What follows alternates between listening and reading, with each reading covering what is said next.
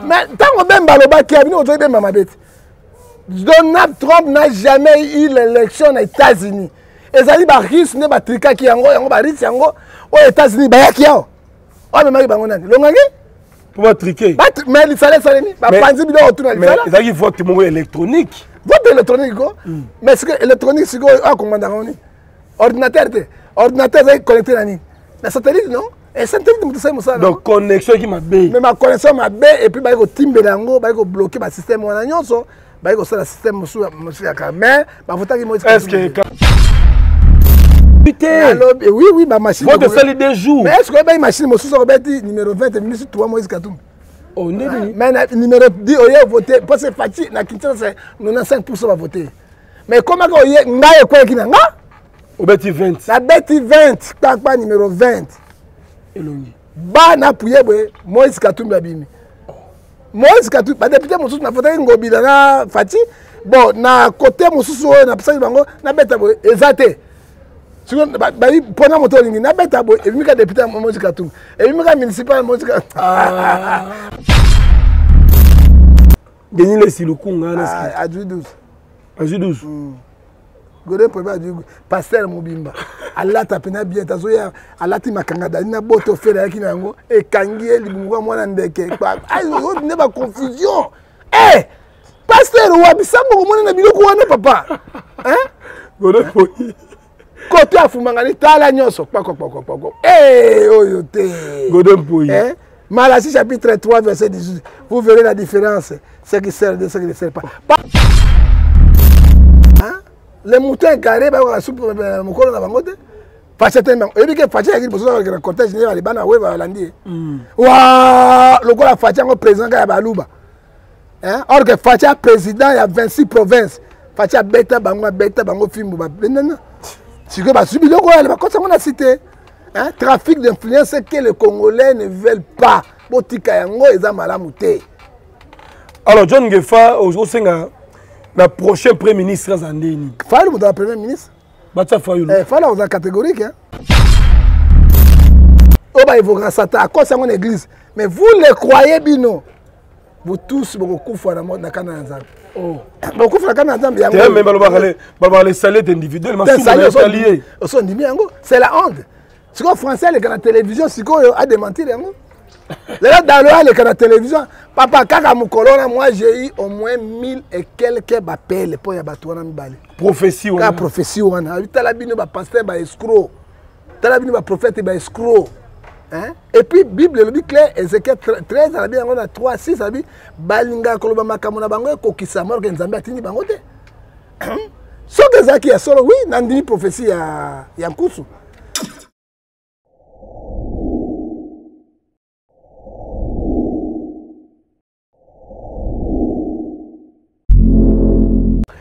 Voilà, merci à tous et à toutes. Euh, bienvenue chez nous, mesdames et messieurs. Très chers amis téléspectateurs, merci pour la fidélité, merci pour la confiance.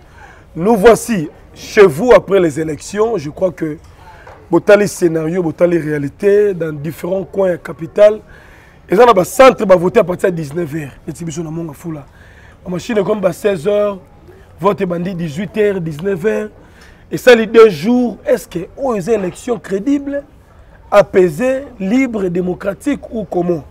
john gefa akorépondre biso en dépit de ça je vous remercie beaucoup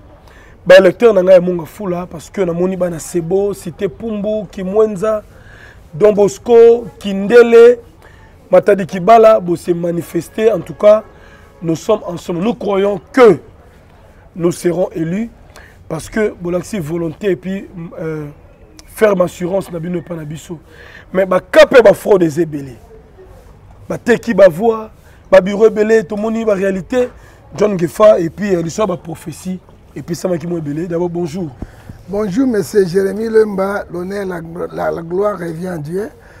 oyebi ecclésia chapitre 1 verset 10 il n'y a pas de nouveau mm. meme tokoti na élection oyo meme élection eleki eloko moko ekochange na monde mpe na congo démocratique eza te mm. nyonso topesi nzambe merci mingi mm. parce que nzambe abateli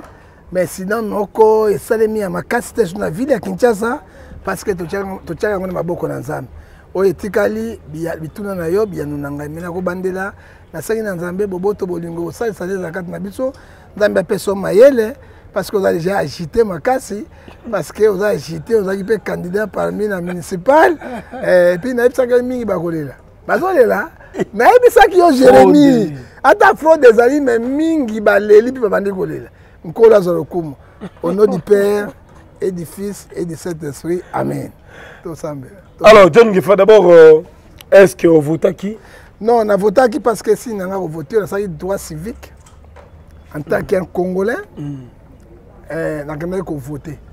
mais na kati na ngai na kovote jérémie namonaki bafraude ezalaki ebele namonaki bacondition mpenza ezalaki réuni te faut dire la vérité mais malgré tout cela vote esalemi mais est ce que fallait basala report ya vote yango to ndenge nini baka kosala report na vote te parce que président oyebi ecclésia 5 verset 3 soki osali ve na yo to ndai na ifo kokisama et je bénis le chef de l'état alobaki na kati na yango ni alobaki na kati ya union africain alobaki na congo ata mokolo moko te oyo ekoleka tokovote maloba na ekokisami epuis jeremi nakoyebisa bino boye partout dans le monde élection moko ezalaka parfait eza te ah. élection ya solo ezalaka nzambe mais tobandi ovote na 18 te oui oui bamachine vote esali deux jours mais est ce que oyebaki machine mosusu akobeti numero 20 eminisi 3 moise katumbi Oh, nde nini mais na numero 10 oye vote parce que faci na kinshasa 95 pourcent bavote mais ekomaka oye ngai ekwelaki na nga obeti 20 nabeti 20 kpakpa numero 20 elongi bana apuye boye moise katumbi abimi moise katumbi badepute mosusu navotaki ngobila na faci bon na kote mosusu oyo napesaki bango nabeta boye eza te mpo na moto olingi nabeta boye ebimi ka depute ya mosi katumbi ebimi ka municipal ya mosi ah. mais ntango bemba alobaki ya bino ozoi bemba mabe te donald trump n'a jamais eu l'élection na états-unis ezali barusse nde batrikaki yango yango barusse yango oyo états-unis bayaki awa oyo amemaki bango nani longange mpo batrike mais lisala esalemi bapanzi biloko tuna lisala ezalaki vote moko électronique vote électronique ko hmm. mais sikoyo électronique sikoyo akomandaka ngo nini ordinateur te ordinateur ezalaki connecte na nini na satellite non eh, satellite moto esali mosala donc connexion eki mabe mais baconnexion mabe epuis baye kotimbela yango baye kobloke basystème wana nyonso baye kosala système mosusu ya kaka mais bavotaki moise est ce que katumbi babi azwi bavoa ebele eparie comment bakobisano na katumbi na place ya tshisekedi mais batiliki yango na baordinateur mais te bavotaki mwa ndambo mais nsima ntango baye kotimbela baye kolongola yango nyonso ezongaki nango normal mais kaka beni lisala guadolite eh, de kasai ntango moto akobeta numero 20 ebimi 3 nde bapanzaki ba baordinateur na biloko nyonso mais oyo etikalaki vraiment ezongaki na norme mais oyo nazo biso siko seni azali saisi na kati ya fraude wana massive et puis course constitutionnel mpe azali saisi alors john gefa tovotaka na biso na congo tomonaki abe malumalu ngoi mulunda corneille nanga epuis na kadima na baélection to eleki na congo oyo ya tour oyo c'est la meilleure ou bien ezali la plus médiocre bon nakoki kobanga nzambe jean 14 6 mm. il faut dire la vérité ngoy mulunda euh, malumalu magi azalaki na fraude mais asalaki élection moko libre et transparente ngoy mulunga mpe asalaki mpe élection moko malamu mais oyo toyebi te parce que ezalaki ebeleimperfection ezalaki ebele toyebi te mais balobi ye aza spécialiste en matière je ne crois pas que président aseni aspécialiste en matière te oh, kadima euh, kadima aza spécialiste en matière te parce que élection wana ezalaki ya mbutu bato ebele bavote mpe te bato ebele baboyi na bango bavote te bakarte oyo faut tya na moto otya oyo mpo elongi ebima mais je ne sais pas nayebi te mais ke nécessaire ke élection ezali mais élection moko parfaite na monde ezalaka te so ozwi carte otumbi yango na fere eh, otumbi yango na fere ba elongi ebimi oka makako elongi ema elongi ya makako otumbi nkombo ebimi otumi ekiti ma matoi matoi nayebi te nayebi te jeremi nayebi mboka oyo kongo mboka elenge eh? kongo mboka mpo makambo eleka na kongo na monde ombe esalemaka te kaka na kongo karte ya karte otumbi boye pu omona matoi ebimi otumbi pa bekre ebimi otumbi ka abongisi mo bakwafi moke otumbi longo lisolo ekomi mosongo ah kongo na election eleki election eleki eza makambo na mingi baleli eh? mais na réalité eza moko john gifa baancien patron baancien candidat ebele bavote bango te mais nayebisaki yo c'est 95 pourcent bakozonga te parce qu'ils ont fait deux mandats pour rien faire tanga nga loi moko oyo bavote mpo na population congolaise eza te tangela nga loi nini oyo bavote mpo na me basali na nzambe eza te mpo na baeglise tangela nga eloko nini basali mpo ete babongisa ta capitale eza te eh, bakende kotia salaire na bango 21 000 dollars sikoyo bakoma na 30 000 dollars mpo président alobi Hein, président alobi mais soki badepute bofuti bango mbongo te koma na ndako kura ezangi te depute futi somba singa eta matanga depute somba singa mais président les députés bana salaire mpo bazala salaire moko ekoki au lieu de 27 20, 21 millions de dollars yo pesa député ata 5 millions 5 000 dollars kamata chaque basoda meme 300 400 dollars ba ba fosa 300 400 dollars eh, ba député euh, euh, oyo tobengi oyo basa euh, provincial otie bango ata na 4000 4000 okamati mpe ba municipal oyo otie bango ata ba jérémie lwemba 2500 2500 ekoki na yango mbongo mosusu obakisi bafonctionnaire kozala bien équilibre équilibre ezala bino otia mpe président ah, wana ya baerre politique président okoki koloba biloko ndenge wana te okoki koloba te parce que ozofavoriser côté moko e population bazovote lelo hein o ba voter ya deka sai te o ba voter ezali 26 provinces ngala za mongala na voter yo numéro 20 o voter hein? nani na voter Fatih numéro 20 oh. parce que moi na mboka hein olio voter hein? baende ancien gouverneur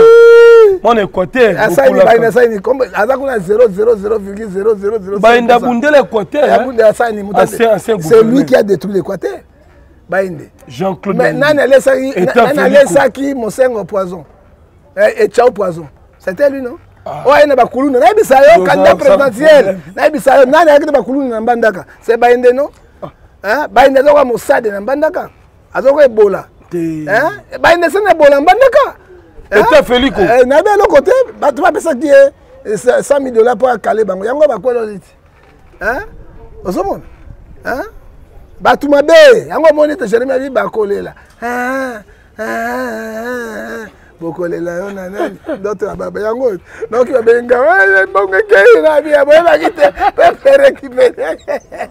ntango topekisaki bino boyokaki pepe azwi mayele oyo aye alei oyo aye alei oyo aye alei nayebisaki bango na urne akozakaki na nzambe na mashini moto akoza pembeni te lelo baleli babenga wati eh, oto oh, ndimi ngai bisava peuple elei me sanctionne bango severement tika obima ata bugumese ah. charlo jour demi akoma bugumese mpo oyo kokale ngai nde nakobetela yo wana mpo ngai na jeremi tobundi na mboka oyo ah, ngai naboyi kotya kandidature tobundi na mboka oyo biso nde bafefete wana baconseilngefa bato baolela partout na babiro bato bavote autant de personnes maintenant baza koaffiche ba pv bavue ekomi moke ba eh, eh, eh, eh. ddddcop elekaki mingi nalobi ngai nazalaki wana nazomona moto anga vote bapesi ye mbongo zwa papier moi j'étais là moi suis un religieux faut dire la vérité monsieur bato babeti bale ya makasi oyo basalaki propagande te babombi mbongo na bango batindi bato na bango na tout mais c'est eux qui vont passer parce que ah. moto na nzela na suka yo na vote boye yo vote nini 15 000 yango oyo pesa nga kombo apesi kombo président na tour na oyo akomi kuna au nom du père du fils de saint esprit na moto te ya misato le ale pa yo opesaki mbongo eleki bubulete baa na stratégie te soki bato alaki na tala oyi bato na tala moto aboma eleki yo na mayele bato wana bende biso jérémi base propagande te eh. bachange bambongo na bango kaka na esika bato ebele baza wana akotuna karte te abita azwa numero 111 15 mil yango 15 mil yango 15 mil 20 mil soki osani na nzalo ya kongo ah, balongwa kuna di ya mbongo na biso toleya mboka na biso ale bayende oyo liko bu bazwi sikoyo bino boluka so baresultat kuna bubulence nde bazolela mais sikoyo peuple moke kani evote euh.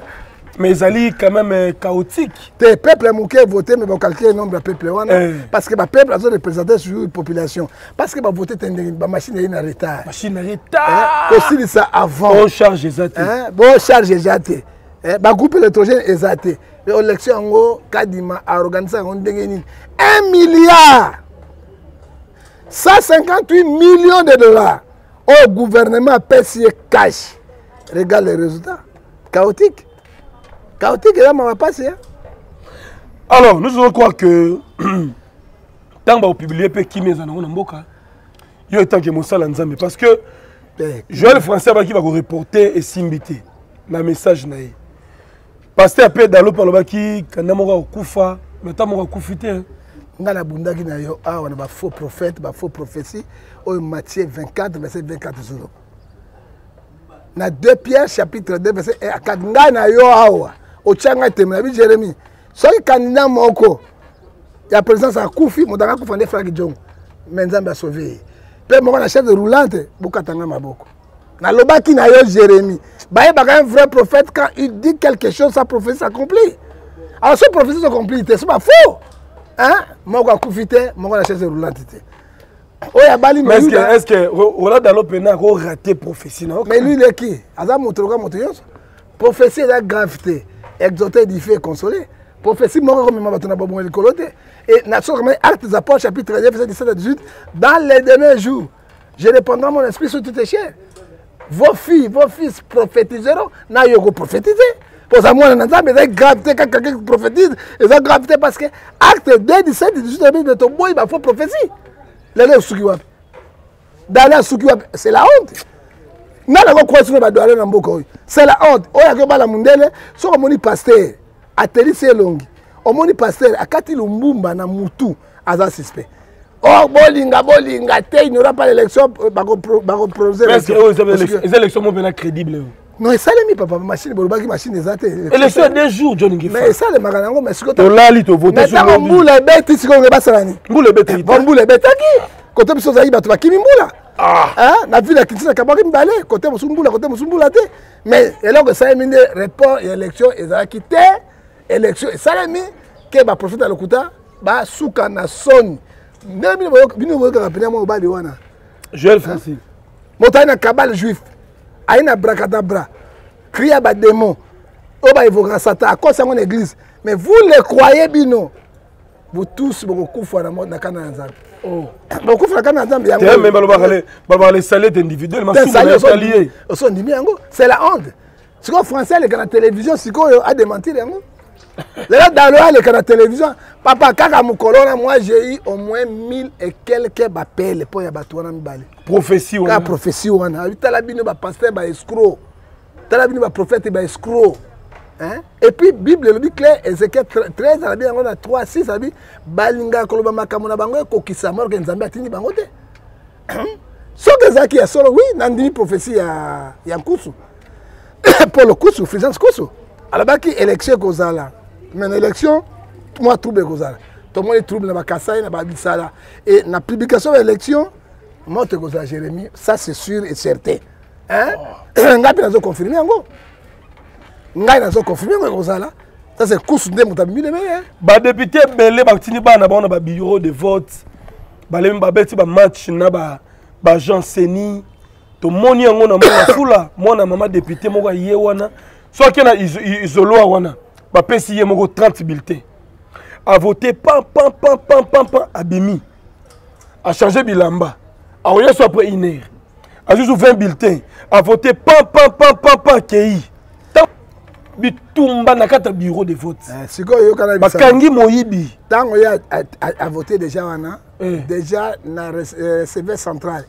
nkombo ya depute nde ebimi kuna oyo ya papier ezalaka ba,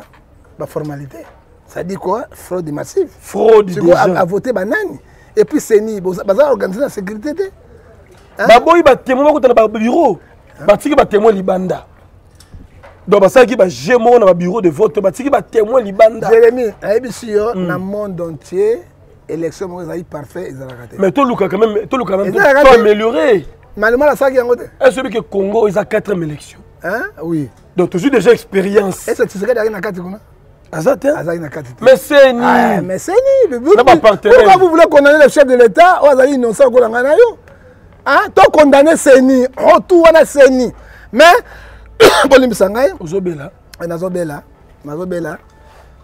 parce que nalobaki mingi mm. eh, cour constitutionnel aza saisi na makambo wana nyonso oui omoni makambo to eleka wana tout cour constitutionnel azali saisi na barapport wana badisqualifie badepute mosusubadeputé ebele même na présidence mingi mpe bakorejete bavoi na bango parce que eza illégal eza illégal oui. voilà merci beaucoup john ngefa mais quand même avenir ya nation na biso congo tobaki élection esalama na kimia bato bakufa te quand même c'est bon bien que namoni batrouble na kindele batrouble un peu partout eh, mo bato bazosepela te na baresultat ba pv eza conforme te na oyo bato bavote mo baerreur eza ebele dans l'ensemble komona congo to espere nini na prochain régime si faut koloba na bango priorité eza nini eloko na bana président tshisekedi te ye te loba na président akokota na président tshisekedi moto akota mosu akotani mais tshisekedi akokota nene akota mosusu ngai nazalaki 85 pourcent ya tshisekedi kimene kimene eh, kimene et partout zwa baresultat nyonso ba province eye deuxième internet ebongo na kasai katanga katanga ye na moisi babetani kuna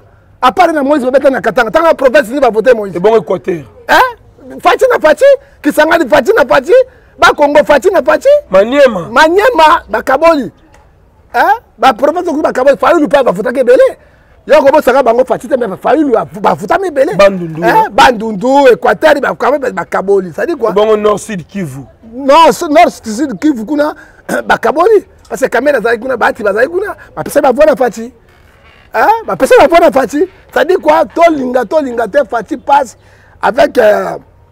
52 ou 53 euh, pourcent aza oleka eloko naloba na fati soki oleki mm. mon cher président 2 corinthiens chapitre 20 verset 20 confiez-vous à l'internet votre dé vous sera fermi confiez-vous à ces prophètes vous réussirez mm. eloko na bana président tshisekedi un chef de l'état azalaka na milisi te milisi wana ekoprovoke guerre civile na kati ya ville ya kinshasa epuis na historie ya mboka un chef de l'état azalaka na armée la police ba service spéciaux année deuxième nde basalaka mosala soki tomoni sikoyo baforce mosusu ebimi lokola baillegale na république bazotrake bato koboma kobeta kokata la nous condamnons il faut longola biloko wana mpo oluka paix eza biloko baparti politique hein? hein? il faut longola biloko wana mpenza kotelemela yango bazobebisa image na yo soki lelo tovote yo mingi parce que toboyi longange toboyi bapaya baza na tete ya république topréféré surtout ngai ngefa nalobi mongongo ma un mois mobimba ke yoleka mwana ya mboka hein? ya mibale tala sociale ya bato oui. kopesaka badepute ba 25 000 dollars ba 30 000 te sikoyo soda ye na kombe salaire oyo bobakisi bango obakisi moto 220 000 lokola eh, lokola 75 dollars oyo bie bakisi moto mbongo panier ménager ya biso eza lelo combien tala baprofesseur ya université tala baintellectuel esimba sociale tokobeta mokakusu luka luka makasi osala guerre ya est luka makasi osala guerre ya est nde deuxième mandat nyonso esili okokende okobima na sortie moko ya grand honneur mais soki osali yango te otika force wana de progrès makambo bazosala kobeta kokata bato bilamba kozokisa koboma c'est faux un bon jour je vous dis guerre civile ekomema na kinshasa parce que lelo bagitation ya partout eh. bango balekisi balekisi balekisi or que président ya bato te instruit na kabuya oza secrétaire général ya idps bolokalize bato wana partout na république mokonzi du congo ezosala esengo te ezosala malamu te hébreu 12 14 chercher la paix avec tous le président n'est pas aimé par les blancs Le président n'est pas aimé par les occidentaux. Hein? Mais vous êtes aimé par le peuple congolais, biso tolingi yo. Tozobatela yo. tolingi eloko moko mabe ebima na force esika ozokamba te parce que makasi ya yo chilombo c'est le peuple congolais ce n'est pas baluba avec les forces progrès soki olongola yango namoni ser moko finga kapitene moko to na bujimai to nini nakoboma yo nakotinda bapolisier na nga nakolalisa yo me tomona yango wapi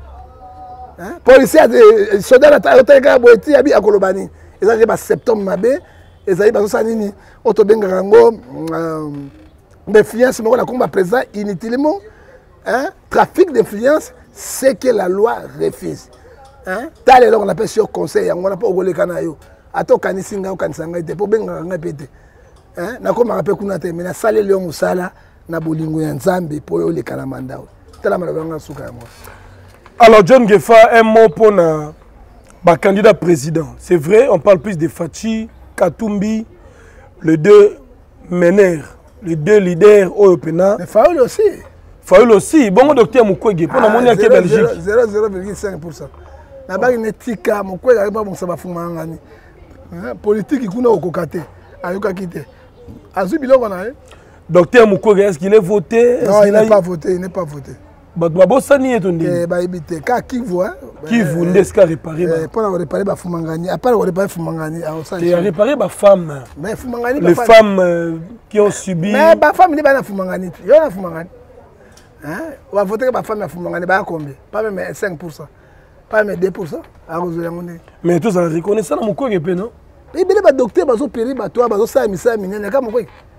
ebele pene badocteur bacardiologue bazali awa badocteur limbole baza na clinique ngalema il fait les opérations de cœur euh, to hein? cœur ouvert baspécialiste ebele bagynécologue ya minene bazali awa ezaka mokwei oh. eza mokwei te baza ebele ye akoki na politiki te atika na plus lombele ya bien mokwege il est reconnu à l'extérieur du pays mais ici chez nous il n'est pas reconnu c'est vrai oui il n'est pas reconnu au congo nana bien na basangoso hein na code wana nayebi mokwege oyo oh, na kasai babeti mwana mwasi oyo leleki eh, na kondane yango parce que alataki bilamba ya moise katumbi eh. eh? nous condamnons nayebi te somo ya mwasi oyo abiki force yango kaka yango tozobakati ye bilamba bakati ye bilamba je l'ai vu c'est pour ça na condamné mais la police est venue en retard police ayei mais akoki te pression hein? pression te police azobanga donc force wana elingi eleka armée elingi aleka na police ah, toyebi te qu'est ce qui se passe au juste au congo nous ne savons pas et puis bazo traquer bango te ils sont libres de tout ils font ça qu'ils veulent non non je crois qu'il faut éviter tribalisme hein? na mboka te le meilleur gars soki bavote bavote le meilleur gars c'est fini koboma motu mpo na t-shirt alati t-shirt pamba mamalongi ya motu bakati ye bilamba bakati ye mabele polele basimbi jini balongoli fumangani eloko bango bacontrole bayebi yango te c'est une pauvre maman kapala atelembe ya moïse katumbi moïse katumbi akoleka ne président te sikoyo bozoboma mama wana mpo na nini na dans la démocratie liberté d'expression ezali moto akosala na désir nde na volonté na ye ce n'est pas la dictature oyo ezolakisa nini batel acte ezolakisa nini bozo prépare pays wapi pays bozo préparer yango na nini oyo bozo sala bo mais mais rappelle toi déjà na Katanga pe kuna ba Kasaïens bazaka mal vu parce biloko yango ekoti ba Kasaïens baka mal vu yango ba komisi yango mais Fatshi alingi yango te telemeli yango Fatshi atelemi azoka Fatshi te hein le mouton égaré ba ka soupe euh, mokolo na bango te Fatshi atelemi oyebi ke Fatshi ayaki liboso azalaka na cortège ne balibana oyo balandi ye hmm. wa lokola Fatshi yango président kaka ya baluba hein? or que facha président ya 26 province facha abeta bango abeta bango fimbo babendana sikoyo bazwi biloko oyo bakosi yango na site hein? trafic d'influence que le congolais ne veulent pas botika yango eza malamu te alors john ngefa osenga na prochain premier ministre aza ndeni fayulu moto ya premier ministre batya fayulu eh, fayulu akozala catégorique fayulu azali blage te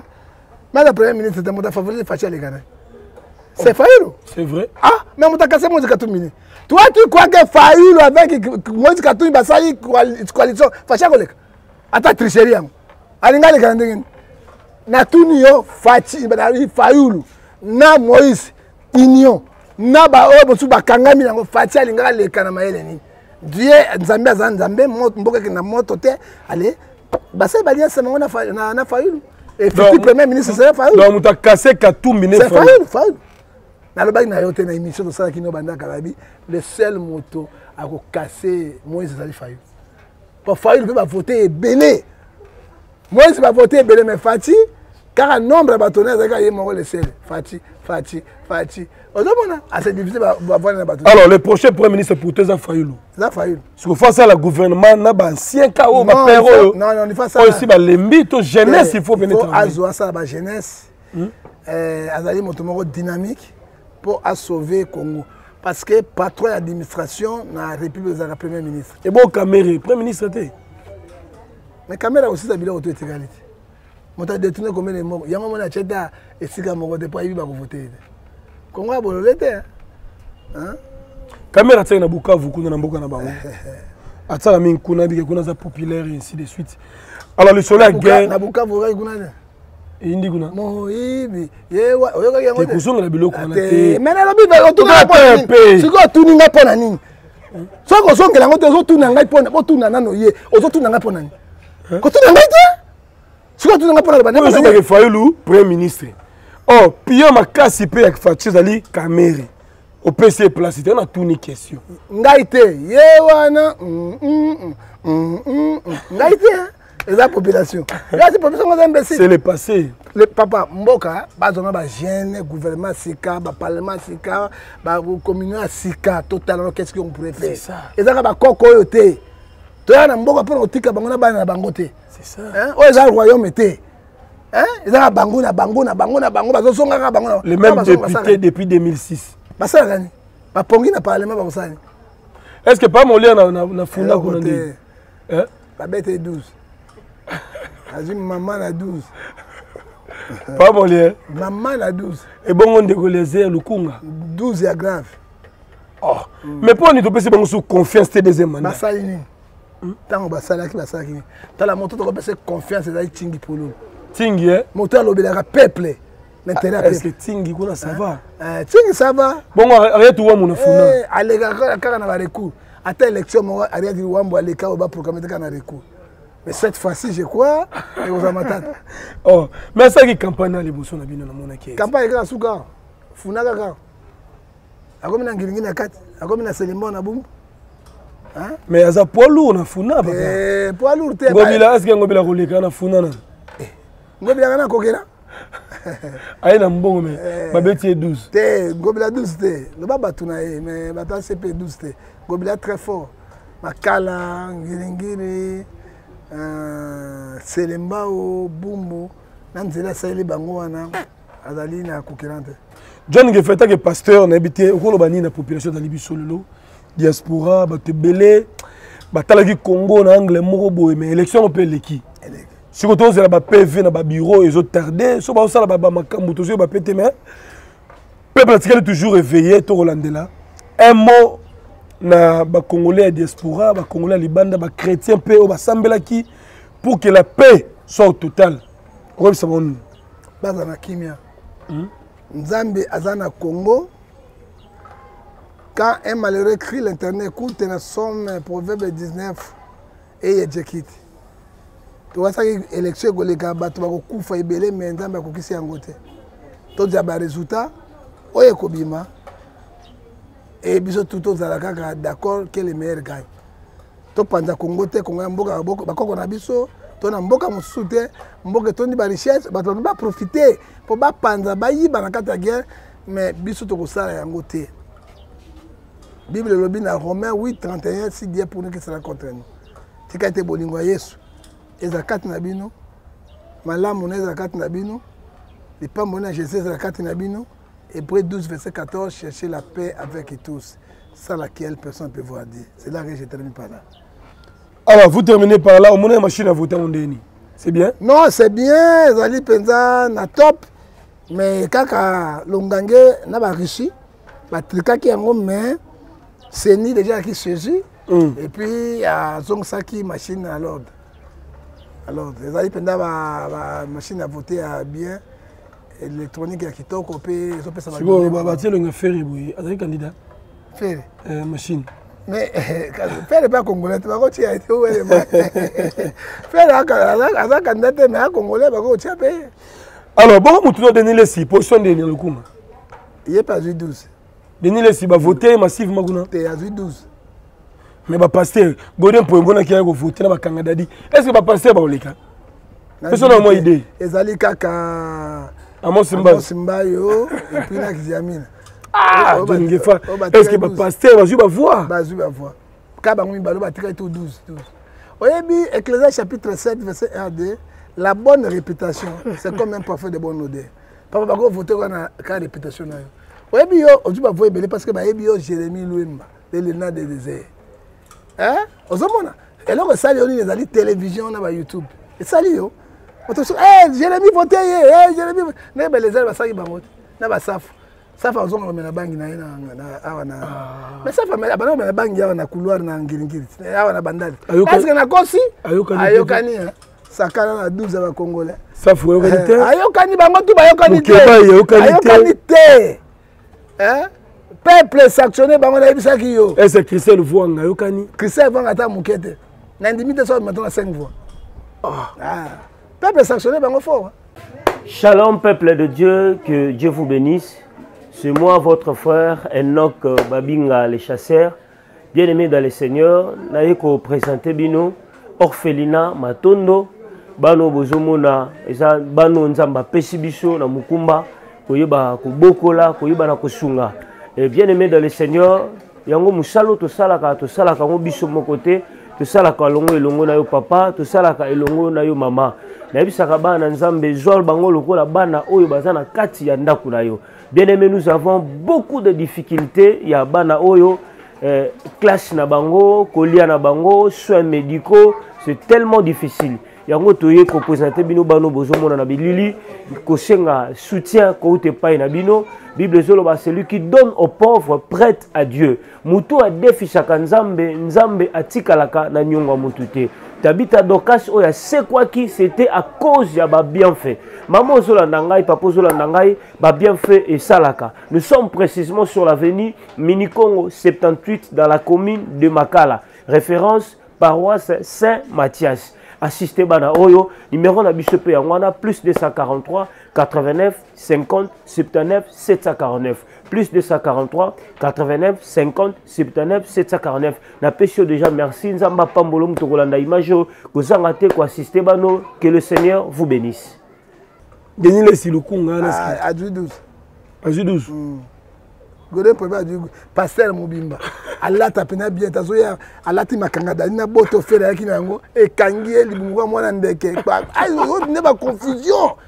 eh pasteur wa bisango komona na biloko wana papa hein kote afumangani tala nyonso kpakokpakokpako eh, oyo te eh? Malachie chapitre 3 verset 18 vous verrez la différence ce qui sert de ce qui ne sert pas papa baroute ne peut pas bien akolata boye te mais ati blanc blanc akanga dadi na ye lokola jeune ndenge akangi nzoto ebimi est ce que azala boto ya fere azala premier habillé habillé boto ya fere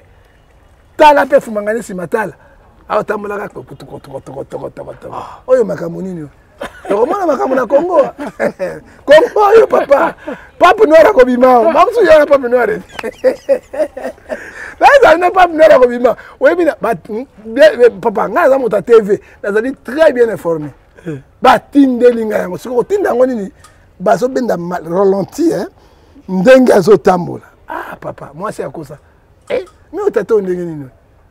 eh? ceinture ezomonana eh. bafes polele eh? mbasi alataki na kati ezomonana kula ya chokola ah, mais ata bling bling mais asali harmonie te kuna alati chokola soki abeti boye ebimi boye azongi boye ebimi boye paster paster ngai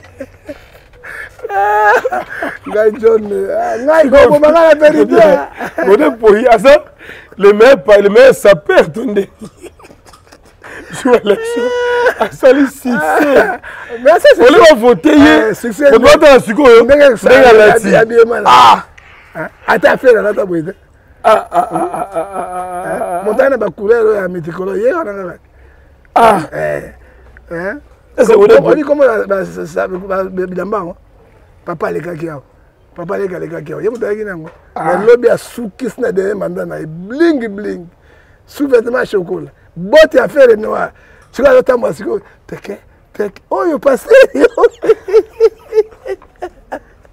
Ah, Jérémie nyonso natalaka. Naza moto ya youtubeur. Nyonso natalaka mais c'est mal. Mais yo tangi sape, hein? Tangi moto forme. Gode po aza na premier bière to eza ndeni. Te ayebi nde kolata te. Ah, tala couleur mibale c'est passable. lelo na kati ya bamonde ya sap batia couleur moko ya trois couleur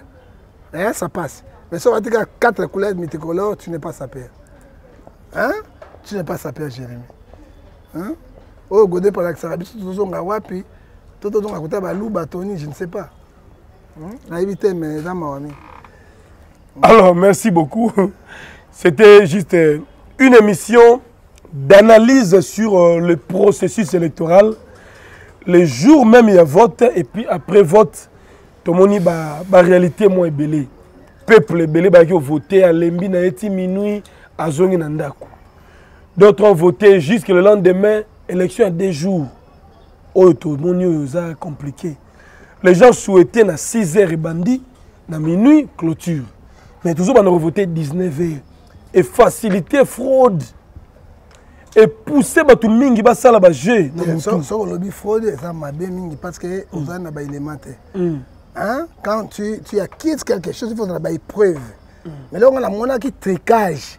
elekaki na bamachine ah, mais que tricage hein? ozomona tricage et puis namoni bacandidat mosusu basali ba, ba, euh, publicité te bayaki na bambongo si place wana bazo corrompe baélecteur bazopesa bango na bapapier ya mike mike kenda kovote bango c'est là oyo ekomoni ke sisima baluka nef j'ai changé ebongo oyo moto asali campagne te abima député ndenge nini mais akolia mbongo liboso ntango olie mbongo nde na dernier mita osani okosede okosede ye ale mbongo na dernier mita 20 000 yango 15 000 yo mpe na nzambe moto mosusu misato aza te Hein? okosala nini bakosede yango amoni calcule ekomi sikoyo 6 ekomi 9 alors merci merci à tout le monde bato basoutenir biso pendant le moment dur gérard sadam euh, na kinshasa merci à mimi ndume depuis moshing là-bas en allemagne merci à sema mayasi femme légitime agence mayasi forza italia les célèbres die nzundu na washington merci pour tout mon vieux les célèbres die nzundu na washington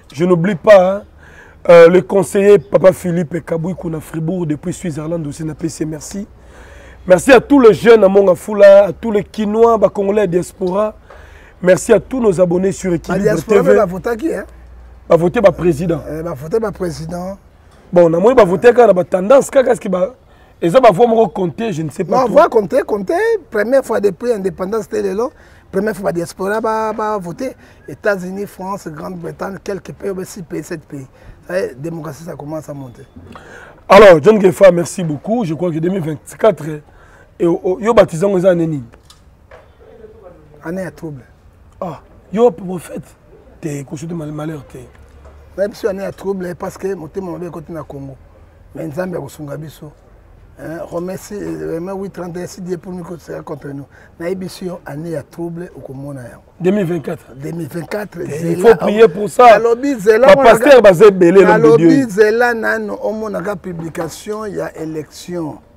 mm. oyi bato bamisa trouble liboso ekozala oyo tobengi baforce de progrès et la population ekolinga te ekoyinda mpe bango mosusu ebimisi mais faut prier pour mais ça mais nous prions pour ça nous connaissons ce qui se passe au juste alors merci beaucoup baparole ya ngefa eza nul sans effet eza année ya pe nalobi nyonso pe guerre esili kuna tu ne sais pas que président nga réuni deux chambres ya parlement na article 145 146 a déclaré état de guerre contre rwanda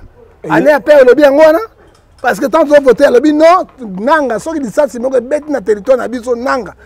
aconvoke conseil epesa ndingisa wana deux chambres ya parlement bapesi autorisation adéclare guerre na, na rwanda alors guerre déclare na, na, na mbula nini 2024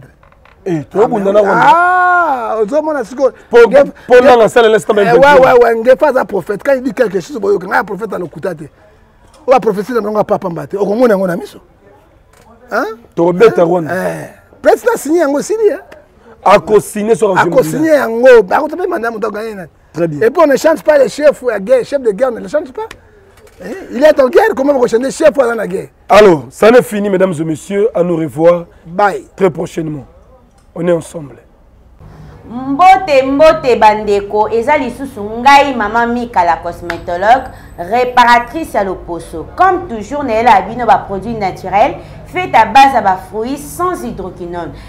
ya lelo ya sika eye mafuta ya bana le de beauté mika bebe en tout cas ezali de 0 à 12 ans esala bana na bino kitoko makasi je vous assure bosepela nango ezobongisa po ya bana ezorendre yango lise propre et très agréable ezala bana mwana bimaka bambuma na nzoto ba, ba, ba mapalata bamakodia banini en tout cas ezosoigne mpo ya bana kitoko toko makasi mama mika amemeli bino susu bandeko pomade na biso vimbovi pomade oyo ezali pomade raffermissante mpo na mabele basin epuis base na bamole en tout cas ezovimbisa makasi bandeko bosala bacommande bopase bacommande na bino bokosepela na yango makasi nzoto yaya papa mama tobongisa yango kaka tozali na pomade na biso ya suki e bato oyo suki ekatanaka pambapamba bato oyo suki ezalaka pepele bato oyo bazala na mabandi solution yango eye baproduit très naturel toza na pomade ya suki toza na huile ya suki huile oyo ezosunga bato bazala na basalite na bacuire chevelire na bango bapoussière baloto oyokaka mokusa yo so bayoka yango soki okoma mal à l'aise solution yango eye huile na biso huile cheveux mika ekosunga biso makasi toza na pomade oyo ezovimbisa suki suki ekoma noire ekoma kitoko bandeko boya ebele tozali na crème na biso te metisi mpo na basi ya pembe mibala pembe bandeko na nga ekosala yo bien yo mutu pembe na yo egata yaka mbangu passe commande na yo ekokomela yo tobosani te basa mwindu basa shokola mibala mwindu ya shokola crème de beauté mika yango oyo ezali mpo na bino bopase bacommande esala bino bien makasi toza na beurre de karité na biso pure bio yango eye bandeko esilaki bopase bacommande eye toza na crème réparatrice mika mpo na bato ya problème ya tampon cancer de peau barougeâtre banoir nduta solution yango eye